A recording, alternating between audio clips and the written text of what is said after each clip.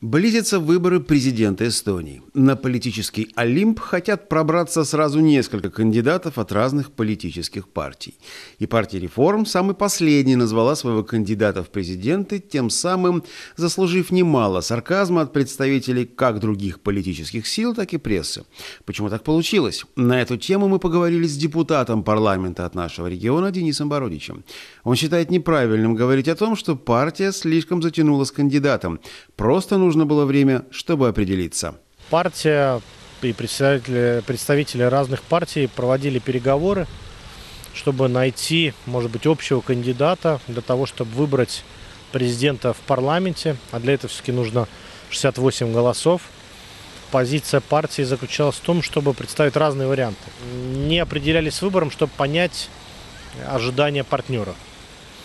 На сегодняшний день видно, что первый тур парламенте, а каждая партия максимально будет рекламировать и стоять за своими кандидатами. Каждый, мне кажется, максимально хочет вот именно сделать такую некую пиар-акцию, как можно больше внимания своему кандидату уделять. А что будет между турами, возможно ли какие-то договоренности между партиями, на самом деле сейчас еще сложно сказать. Эти переговоры, возможно и невозможно, начнутся после первого тура. А, в парламенте, то есть 29-го после обеда и вечером. Я думаю, будут какие-то переговоры. А до этого понятно, что точно сегодняшний день будет а, баллотироваться Симкалас, будет Майлис Рэпс.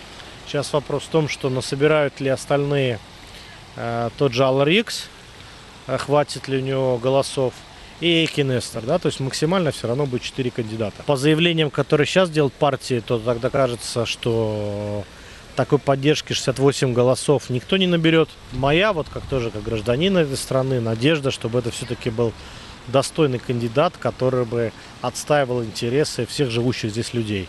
И поэтому для меня лично, хоть э, я представляю даже интересы партии, представляю регион, не самое главное вот именно а, партийная принадлежность, все-таки самое главное качество, потому что э, человека, потому что тот человек будет в течение пяти лет, скажем так, представленческую функцию нашей страны занимать.